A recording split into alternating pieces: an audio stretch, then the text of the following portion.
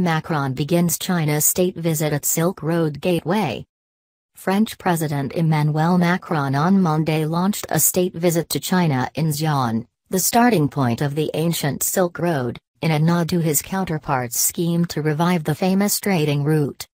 Macron will visit the northern city's famous terracotta warriors along with his wife Brigitte before delivering a keynote speech on the future of Franco-Chinese relations. The 8,000-man clay army, crafted around 250 BC for the tomb of China's first emperor Qin Shi Huang, is a symbol of ancient Chinese artistic and military sophistication in a country that proclaims itself a 5,000-year-old civilization. Macron is beginning the three-day visit in Xi'an as a gesture to Chinese President Xi Jinping's colossal new Silk Road project, an ambitious initiative to connect Asia and Europe by road, rail and sea. The $1 trillion infrastructure program is billed as a modern revival of the ancient Silk Road that once carried fabric, spices, and a wealth of other goods in both directions.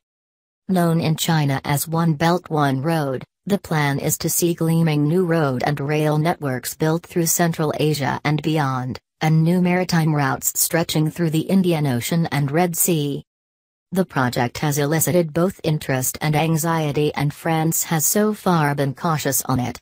Observers say China is waiting for Macron to outline his views on the scheme, in his emerging role as a European leadership voice. Macron's first official visit to Asia marks a new stage for his diplomacy, which has so far been concentrated on Europe and Africa.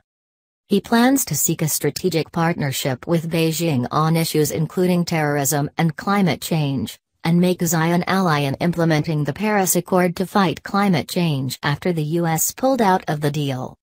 After Xi'an, Macron will travel on to Beijing along with his delegation which takes in some 60 business executives and institutions.